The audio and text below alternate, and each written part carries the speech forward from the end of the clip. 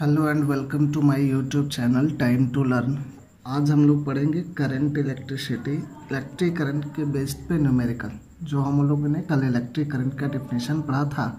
आज उसी बेस्ड पे हम लोग न्यूमेरिकल्स पढ़ेंगे। क्वेश्चन है कि a current of 0.5 point five ampere zero point five ampere का करंट है is drawn by a filament of an electric bulb वो एक इलेक्ट्रिक बल्ब के फिलामेंट से होके पास कर रहा है दस मिनट के लिए फॉर टेन मिनट दस मिनट के लिए। Find the amount of electric charge that flow through a circuit electric charge हमको निकालना है, जो उस सर्किट के थ्रू 0.5 एम्पियर का करंट 10 मिनट के लिए पास कर रहा है तो उसमें कितना चार्ज पास कर रहा है, उस चार्ज को कैलकुलेट करना है। हमें दिया हुआ है आई आई जो है 0.5 एम्पियर है। टाइम है टेन मिनट। कल हम लोगों ने एक फॉर्मूला पढ़ा था, I is equal to Q by T Q क्या है? क्यू जो है वो चार्ज है, और टी जो है वो क्या है? टाइम है। चार्ज का यूनिट था कुलम में, और टाइम का जो यूनिट था वो सेकेंड में था। तो हम लोग को चार्ज तो निकालना है। आई जो है वो करंट है जिसका यूनिट किस चीज़ में था? एम्पियर में था। आई करंट है इसका यूनिट एम्पियर में था। तो अब हम यहाँ से टाइम जो था हमको सेकंड में था, लेकिन टाइम जो क्वेश्चन में दिया है वो मिनट में दिया है। टाइम जो हमको क्वेश्चन में दिया है मिनट में दिया है तो मिनट को हम सेकंड में चेंज करेंगे तो एक मिनट में कितना सेकंड होता है? सिक्सटी सेकंड तो ऐसे ही दस मिनट में कितना सेकंड होगा? Ten into sixty second six hundred second हो गया। अब हम लोग I is equal to Q by T ये पढ़े हैं। टी इधर डिवाइड में है, इधर आके मल्टीप्लाई हो जाएगा। इसको हम लिखेंगे, I into T is equal to Q T इधर डिवाइड में है, इधर आके मल्टीप्लाई हो गया। इसको लिखेंगे, I into T is equal to Q अब यहाँ पे हम देखेंगे, हमको Q ही तो फाइंड आउट करना है, क्योंकि Q क्या है? वो चार्ज है। Q है जो चार्ज है और हमको चार्ज ही कैलकुलेट करना है। आई भी दिया है टी भी दिया है। तो यहाँ पे हम लिखेंगे zero point five into time six hundred is equal to Q तो ज़ीरो पॉइंट फाइव को हम लोग क्या लिखेंगे? अगर जो चेंज करेंगे डेसिमल यहाँ से हटाएँगे तो नीचे टेन आ जाएगा इंटू सिक्स हंड्रेड एक ज़ीरो से एक ज़ीरो कट गया इज़ इक्वल टू क्यू तो Q इज़ इक्वल टू मेरे पास आ गया फाइव इंटू सिक्सटी यानी थ्री हंड्रेड क्यू क्या है? चार्ज है। तो Q का जो यूनिट होगा, वो क्या चीज़ होगा? कोलम होगा। तो थ्री हंड्रेड कोलम ये हमारा इसका आंसर आया। तो इस तरह से ये न्यूमेरिकल सॉल्व हुआ। इसके बाद हम आगे पढ़ेंगे इलेक्ट्रिक सर्किट इलेक्ट्रिक सर्किट क्या होता है? A continuous and close path of an electric current. Electric circuit से ही इलेक्ट्रिक करंट पास करता है। तो इलेक्ट्रिक सर्किट होता है, एक कंटिन्यूस और एक close path of an electric current is called an electric circuit एक कंटिन्यूस मतलब कहीं भी ब्रेक नहीं हो और क्लोज हो, कहीं भी टूटा हुआ नहीं हो। किसी इलेक्ट्रिक करंट का कंटिन्यूस और क्लोज पाथ ही क्या कहलाता है? इलेक्ट्रिक सर्किट कहलाता है। If the circuit is broken anywhere then the current stop flow through the circuit अगर जो कोई भी सर्किट क्या है, कहीं से भी ब्रोकन है, टूटा हुआ है तो वो क्या होगा? उस सर्किट से करंट पास नहीं करेगा। उस सर्किट से करंट पास नहीं करेगा। जैसे एग्जांपल लेते हैं। कि एक हम लोग मास्टर बोर्ड ले लेते हैं, जैसे घर में एक इलेक्ट्रिक बोर्ड लगा हुआ है, उस बोर्ड में बहुत सारा स्विच है। स्विच क्या है? एक तरह से की का काम करता है, जो सर्किट को ओपन करने में और सर्किट को क्लोज करने में काम आता है। तो सपोज़ दैट एक फ़ैन का हम लोग स्विच लेते हैं। फ़ैन इनिशियली क्या है? बंद है।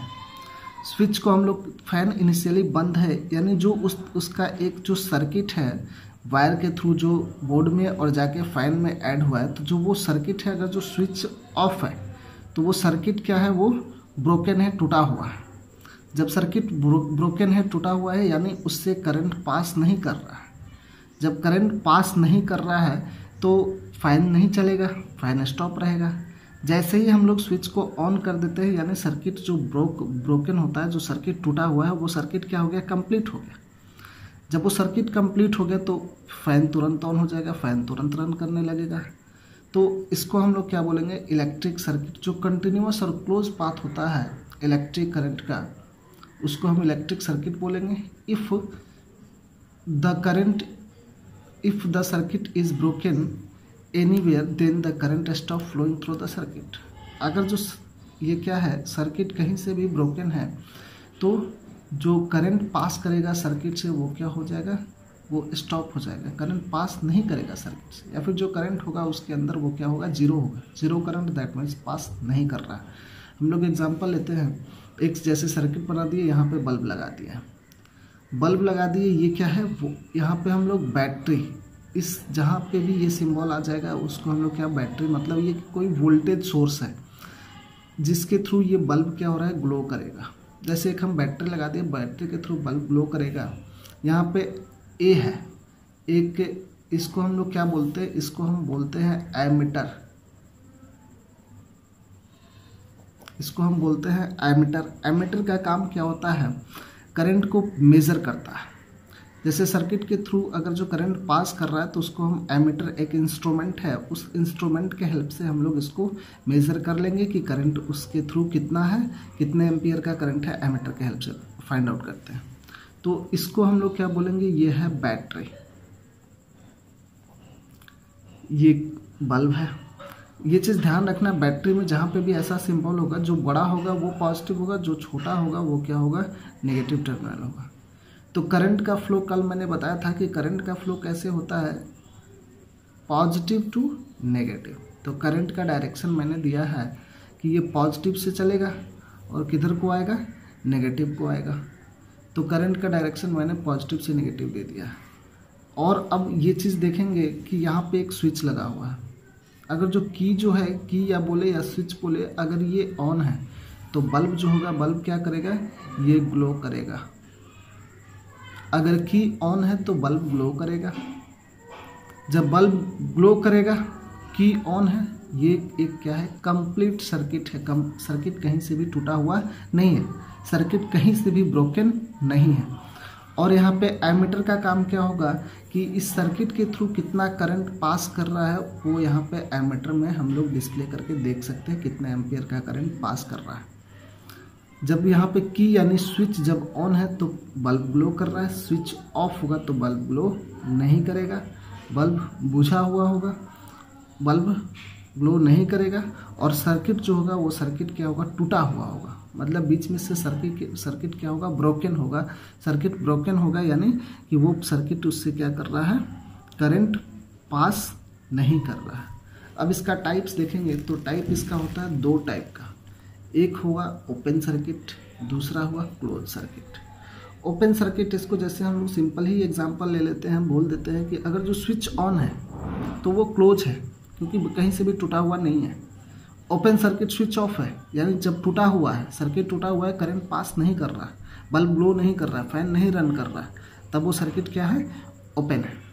तो देखेंगे open circuit An open circuit is a circuit in which there is no current flow or there is zero current. Open circuit उसको बोलेंगे हम, जैसे स्विच ऑन ही नहीं करेंगे। हम इसी सर्किट में समझ रहे हैं। जैसे ये स्विच ऑन की जो है, की अगर जो ऑफ़ होगा तो सर्किट ब्रोकन होगा, टूटा हुआ होगा। जब सर्किट टूटा हुआ होगा तो इससे करंट पास नहीं करेगा। जब करंट पास ही नहीं करेगा तो एमीटर पे शो क्या होगा? कुछ नहीं ज़ीरो एमीटर पे कुछ शो नहीं होगा। एमीटर पे शो नहीं होगा दैट मीन्स ये क्या है? ओपन सर्किट तो open circuit an open circuit is a circuit in which there is no current flow जिसमें करंट फ्लो नहीं होता है या फिर जिसमें ज़ीरो करंट होता है। ज़ीरो करंट का मतलब क्या है? करंट फ्लो नहीं होता है। It is called no load circuit इसको हम नो लोड सर्किट भी बोलते हैं। नो लोड सर्किट क्यों बोलेंगे? क्योंकि जो वो सर्किट है, अगर वो ओपन है तो उसके ऊपर कोई भी लोड नहीं है। कोई भी लोड नहीं है, इसका मतलब हम ये बोलेंगे कि जैसे ये सर्किट है, ये सर्किट अगर जो ओपन है कि यहाँ पे अगर जो ऑफ़ है तो इसको नो लोड बोल दिए। नो लोड का मतलब कि ये ये बल्ब जो होगा, वो ग्लो नहीं करेगा। जब स्विच ऑन नहीं होगा तो बल्ब ग्लो नहीं करेगा। जब बल्ब ग्लो नहीं करेगा तो इसमें कोई भी लोड नहीं होगा, ज़ीरो लोड होगा। जैसे हम लोग एक ये इलेक्ट्रिक जो मीटर होता है, जिसके थ्रू इलेक्ट्रिसिटी बिल जनरेट होता है, उसको नो लोड कब बोलेंगे? वहाँ पे अगर जो हम लोग इलेक्ट्रिसिटी का यूज़ घर में नहीं कर रहे हैं, यानी करंट क्या है? ज़ीरो है, सारा स्विच ऑफ़ है तो मीटर के अंदर रीडिंग जो होगा वो आगे जाएगा, नहीं जाएगा। यानी कि मीटर के ऊपर कोई भी लोड नहीं है, उसको हम लोग क्या बोलेंगे? नो लोड बोलेंगे। तो जैसे ही ओपन सर्किट है यहाँ पे, जैसे देखें कि यहाँ पे जो है वो ओपन है, दोनों एक दूसरे के साथ टच नहीं है तो एमीटर पे जो करंट होगा, यहाँ पे करंट क्या होगा? वो ज़ीरो होगा, क्योंकि एमीटर करंट को रीड नहीं करेगा बल्ब जो होगा वो क्या होगा? वो ग्लो नहीं करेगा। बल्ब जो होगा वो ग्लो नहीं करेगा और इसके अंदर करंट का जो डायरेक्शन होगा, जब सर्किट कंप्लीट ही नहीं होगा तो करंट का डायरेक्शन क्या होगा? जब तक करंट करंट का डायरेक्शन कुछ नहीं। क्योंकि करंट इसमें क्या है? ज़ीरो है। तो इसको हम ओपन सर्किट बोलेंगे।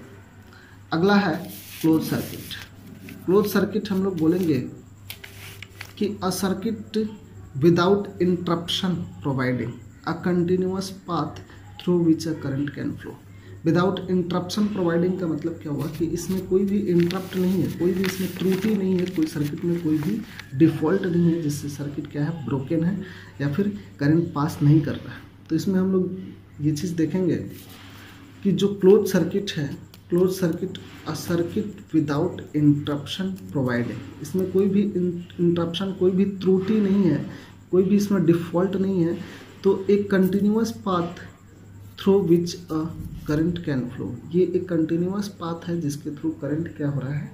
फ्लो हो रहा है। और जब करंट फ्लो हो रहा है तो यहाँ पे बल्ब भी ग्लो करेगा एमीटर पे यहाँ पे रीडिंग भी शो होगा। कितना करंट फ्लो कर रहा है? स्विच क्या है? स्विच जो है क्लोज सर्किट में स्विच क्या होता है? वो ऑन होता है। यहाँ पे स्विच जो होगा, वो ऑन होगा। और इसको हम लोग क्या भी से रिप्रेजेंट करेंगे? यानी वोल्टेज है तो वोल्टेज को भी से रिप्रेजेंट करते हैं। आगे इसको पढ़ेंगे हम। पॉजिटिव से नेगेटिव करंट का फ्लो कर रहा है, बल्ब जो होगा वो क्या करेगा? वो ग्लो करेगा। तो अगर जो हम यहाँ पे देखेंगे, ओपन सर्किट जो होता है, ये ओपन सर्किट है तो इसमें करंट जो होगा वो क्या होगा? ज़ीरो होगा, क्योंकि जब ये स्विच ऑन ही नहीं है, स्विच ऑफ़ है तो करंट इससे पास नहीं करेगा, यानी करंट जब ज़ीरो होगा तो इसका जो वोल्टेज होगा, जो मतलब इसमें ये बैटरी जो है, वोल्टेज, जो बैटरी का हम लोग यूज़ करें वोल्टेज क्या होगा? वोल्टेज मैक्सिमम होगा।